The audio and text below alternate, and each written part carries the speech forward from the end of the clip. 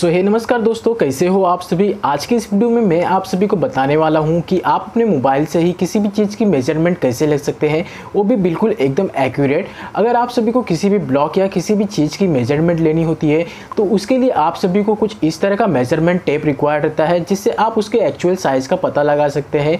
अगर आप सभी के पास अभी कोई मेज़रमेंट टेप नहीं है फिर भी आप अपने मोबाइल का इस्तेमाल करके बड़ी ही आसानी से उस चीज़ को मेजर कर सकते हैं वो भी अपने मोबाइल से ही। तो इस वीडियो को आप पूरा एंड तक देखिएगा इस वीडियो में मैं आप सभी को उसके बारे में बताऊँगा कि कैसे आप अपने मोबाइल का इस्तेमाल करके किसी भी चीज़ को नाप सकते हैं।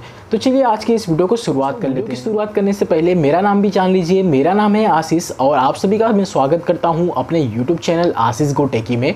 अगर आप इस चैनल पर नए रहेंगे और इसी तरह के इंटरेस्टिंग वीडियोस देखना पसंद करेंगे तो हमारे इस चैनल को सब्सक्राइब करके बाजू में जो बेल आइकन दिख रहा है, उसे भी प्रेस कर लीजिए, ताकि आने वाली वीडियोज़ के नोटिफिकेशन आप सभी को मिल सके। तो चलिए अब देख लेते हैं कि आप अपने मोबाइल से किसी भी चीज़ की मेज़रमेंट कैसे ले सकते हैं।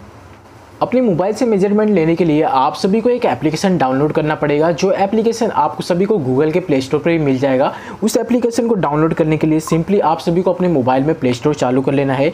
और जैसे ही यहाँ पर सर्च का जो ऑप्शन है, इसके ऊपर आप सभी को लिखना है गूगल मेज़रमेंट ऐप और जैसे ही सबसे पहली एप्लीकेशन आएगी, उसको आप डाउनलोड कर सकते हैं। यहाँ पर आप सभी को बहुत सारी एप्लीकेशन मिल सकती है। इसके ऊपर से आप अपने इसके ऊपर आप अपनी पसंद से कोई भी एप्लीकेशन को डाउनलोड कर सकते हैं। तो मैं यहाँ पर आप सभी को पहला वाला एप्लीकेशन डाउनलोड करके दिखा रहा हूँ, क्योंकि इसको मैंने पहले भी इस्तेमाल किया है, इसलिए इसीलिए मैं आप सभी को ये एप्लीकेशन सजेस्ट कर रहा हूँ तो इसे डाउनलोड कर लेते हैं।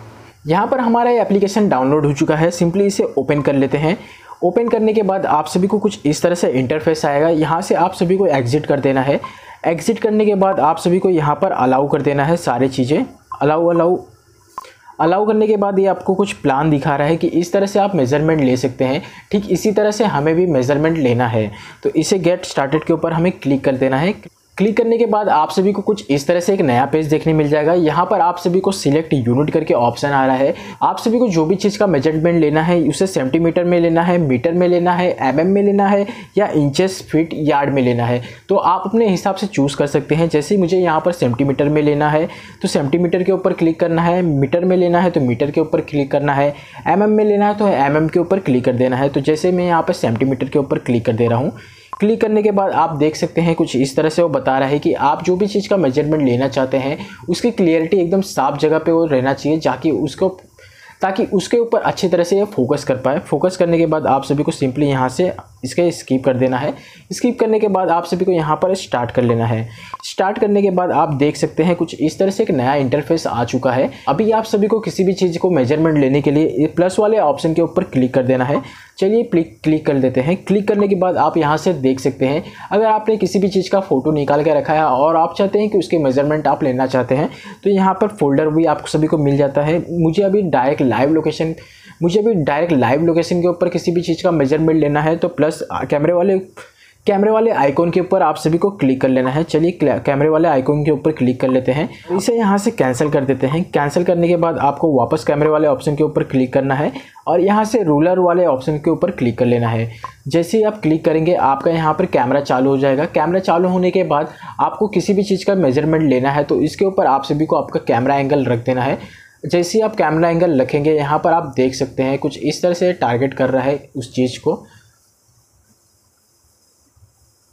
देखिए, इस तरह से इसने टारगेट कर लिया है। अभी आप सभी को अभी आप सभी को मेज़रमेंट लेने के लिए, इसके ऊपर आप सभी को यहाँ पर पहला आइकॉन जो दिख रहा है बीच वाला, इसके ऊपर इसे आइकॉन को लाना है और यहाँ पर टैप कर देना है। जैसे ही आप टैप करेंगे, यहाँ से सिलेक्ट हो जाएगा और आप सभी को अभी दूसरे वाले आइकॉन के ऊपर क्लिक कर देना है, जहाँ तक आपको इसका मेज़रमेंट लेना है।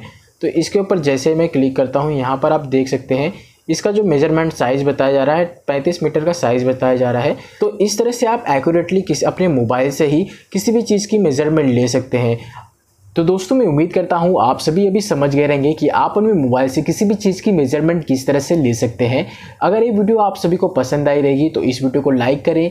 हमारे चैनल पर नए रहेंगे तो इस चैनल को सब्सक्राइब करके बाजू में जो बेल आइकन है, इसे भी प्रेस कर ले, ताकि आने वाली वीडियोज़ के नोटिफिकेशन आप सभी को हमारे चैनल के मिल सके।